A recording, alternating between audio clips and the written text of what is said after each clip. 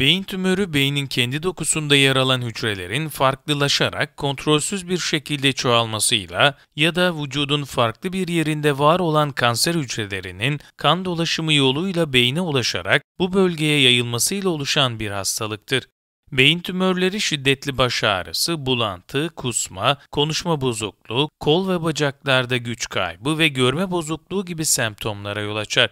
Genetik geçiş, radyasyona maruz kalmak, beyaz ırk gibi bazı etkenlerin yanı sıra farklı risk faktörleri de beyin tümörü oluşumunu tetikleyebilir.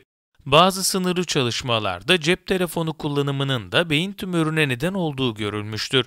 Toplumda her 100 bin kişi arasında 3 ila 5 kişide bir görülen bu hastalığa kadınlara oranla erkeklerde daha sık rastlanır. Hemen her yaş aralığında görülebilen beyin tümörü vakaları 10 yaş altı çocuklarda ve 70 yaş üzerindeki kişilerde daha yaygındır. Nörolojik muayenenin yanı sıra yapılan radyolojik tetkikler ile beyin tümörü tanısı hızlı bir şekilde koyulabilir. Anadolu Sağlık Merkezi'nden beyin ve sinir cerrahisi uzmanı Profesör Doktor Selçuk Göçmen önemli uyarılarda bulunarak beyin tümörü vakalarında sık görülen 7 belirtiyi şöyle anlattı. Beyni dış etkenlerden koruyan kafatası anatomik açıdan genişlemeye uygun yapıda değildir. Hastalık ilk oluşmaya başladığı dönemde lezyon şeklindedir. Ancak beyin tümörleri evreleri ilerledikçe kafatasının sert yapısından dolayı tümör beyne direkt olarak baskı yapmaya başlar. Sinsi bir şekilde büyümesini sürdüren beyin tümörü bu döneme kadar çoğunlukla bir semptoma yol açmaz. Ancak tümör büyüdükçe beyin dokusu üzerindeki baskı ve kafatası içi basınç artar. Tümörün yerleştiği bölgeye göre beyin fonksiyonları etkilenir ve böylece beyin tümörleri belirtileri ortaya çıkar. Beyin tümörü vakalarında sık görülen 7 belirti ise şu şekilde sıralayabiliriz. 1. Baş ağrısı. Tümörün büyüyerek kafa içi basıncını artırmasıyla birlikte ilk oluşan belirti baş ağrısıdır. Beyin tümörüne bağlı olarak oluşan baş ağrısı şikayeti son derece şiddetlidir ve kişi ağrı kesici ilaç kullanmasına rağmen baş ağrısı azalmaz. Beyin tümörü büyüdükçe ağrının sıklığı ve şiddeti artar. Baş ağrısı şikayeti gece saatlerinde şiddetlenir ve kişi sabah uyandığında da baş ağrısı şikayeti olur. Eğilmek, öksürmek gibi kafa içi basıncının artmasına yol açan eylemler baş ağrısının şiddetlenmesine yol açar. 2. Bulantı ve kusma Beyin tümörü varlığında baş ağrısına eşlik eden mide bulantısı ve kusma şikayeti görülür. Çoğunlukla sabah saatlerinde gerçekleşen kusmaya hıçkırık da eşlik edebilir. 3. Uyuşukluk Tümörün boyutuna bağlı olarak uyuşukluk gelişir. Beyin dokusu üzerinde artan baskıya bağlı olarak gelişen bu durumda kişinin uyku ihtiyacı artar. Özellikle çocuklarda kusmayla baş ağrısında azalma gözlemlenebilir. 4. Görme ve konuşma bozuklukları Çift görme, şekillerin kayması, görüşün dalgalanması, bulanık görme, görüş farkı gibi pek çok görme bozukluklarının yanı sıra tümöre bağlı olarak kişide dilin dönmemesi, kelimeleri hatırlayamama, telaffuz problemleri, peltek konuşma, konuşulanları anlamama gibi konuşma bozuklukları gelişebilir. 5. Nöbet Beyin dokusunun baskı altında kalmasına bağlı olarak beyin fonksiyonlarında bozulmalar yaşanır kol ve bacaklarda seyirme ya da tüm vücudun titremesi gibi belirtilerin yanı sıra kısa süreli bilinç kaybı da oluşabilir. 6. Denge problemleri Beyinde tümör varlığında kişi dengesini kurmakta zorlanabilir. Ayağa kalkmak ve yürümek gibi temel becerileri yapmak güçleşebilir. 7. Kişilik değişimi Tümörün yerleştiği bölgeye göre hastada kişilik değişimleri görülebilir. Normalde çok sakin olan biri hırçın ve öfkeli birine dönüşebilir. Bilinç değişimi ve unutkanlık yaygın olarak görülebilir. Peki beyin tümörü neden olur? Günümüzde beyin tümörünün neden olduğu tam olarak anlaşılmamıştır. Ancak genetiğin ya da farklı bir deyişle aile öyküsünün bazı beyin tümörleriyle direkt olarak ilişkili olduğu bilinmektedir. Beyin tümörü oluşumunu tetikleyen bazı risk faktörleri bulunur ırk bu risk faktörlerinin başında gelir. Beyin tümörü beyaz ırka sahip kişilerde daha yaygın görülür. Yaş da beyin tümörü ile alakalıdır. Beyin tümörü hemen her yaşta görülse de 10 yaşın altındaki çocuklarda ve 70 yaşın üzerindeki yetişkinlerde daha sık görülür.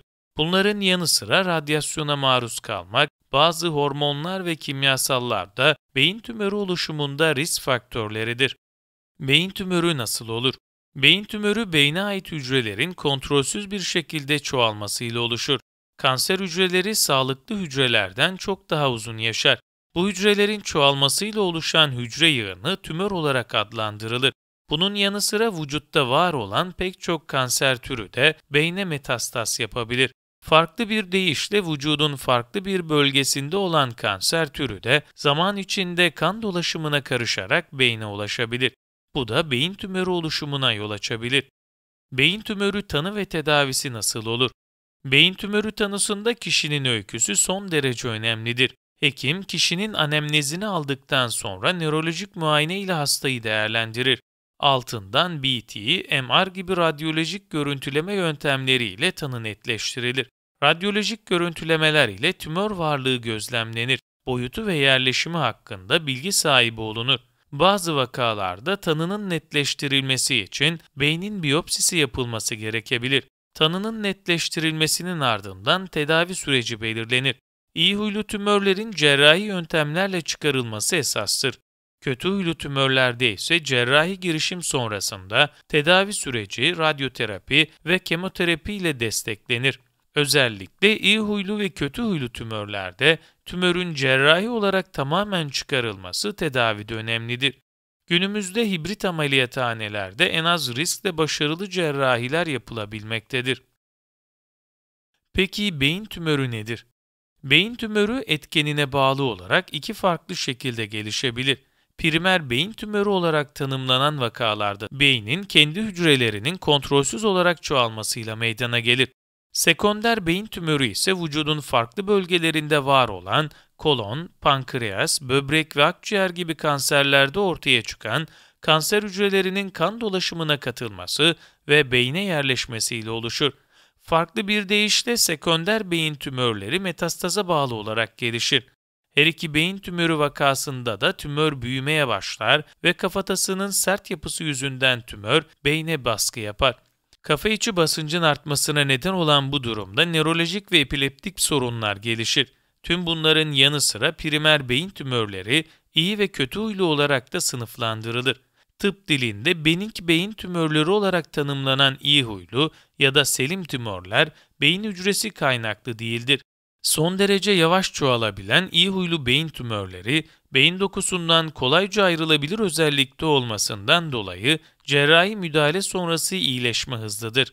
Ayrıca iyi huylu beyin tümörleri nadiren tekrarlar.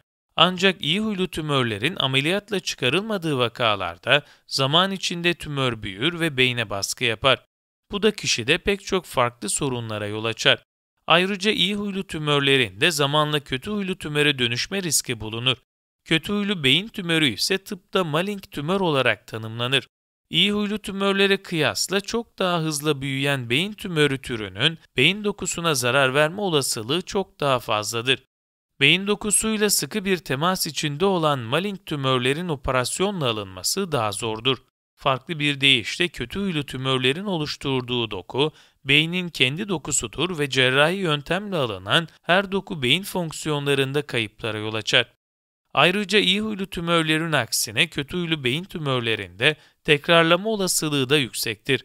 Sekonder beyin türlerinin tümü kötü huylu beyin tümörü kapsamında değerlendirilir.